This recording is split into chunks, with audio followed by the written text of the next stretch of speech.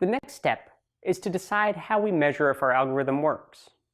Choosing how to evaluate your machine learning model is one of the most important decisions an analyst makes. The decision balances the real-world use of the algorithm, the mathematical properties of the evaluation function, and the interpretability of the measure. Often we hear the question, how accurate is your model? Accuracy is a simple measure that tells us what percentage of rows we got right. However, sometimes accuracy doesn't tell the whole story.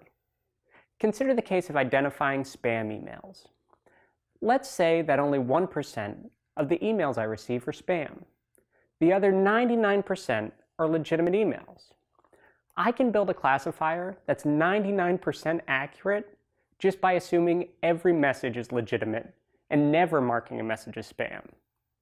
But this model isn't useful at all because every message even the spam ends up in my inbox. The metric we use for this problem is called log loss. Log loss is what is generally called a loss function, and it is a measure of error. We want our error to be as small as possible, which is the opposite of a metric like accuracy, where we want to maximize the value. Let's look at how log loss is calculated.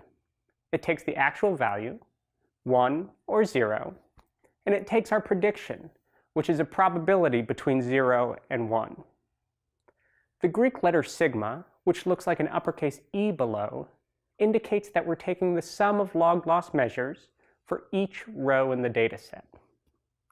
We then multiply this sum by negative 1 over n, the number of rows, to get a single value for log loss. We will unpack this math a little more by looking at an example. Consider the case where the true label is 0, but we predict confidently that the label is 1. In this case, because y is 0, the first term becomes 0. This means that the log loss is calculated by 1 minus y times log of 1 minus p.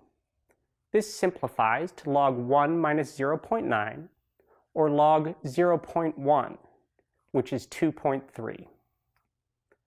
Now consider the case that the correct label is 1, but our model is not sure, and our prediction is right in the middle at a value of 0.5.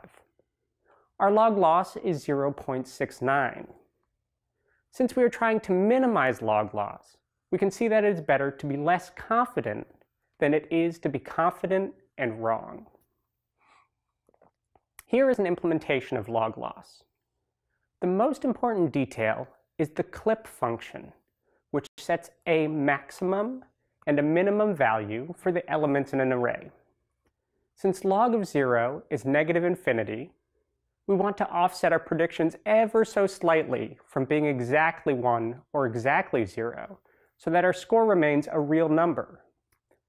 In this example, we use the EPS variable to be 0.00013 zeros and then a 1, which is close enough to 0 to not affect our overall scores. After adjusting the predictions slightly with CLIP, we calculate log loss using the formula. If we call this function on the examples we looked at earlier, we can see that the confident and wrong item returns the expected value of 2.3.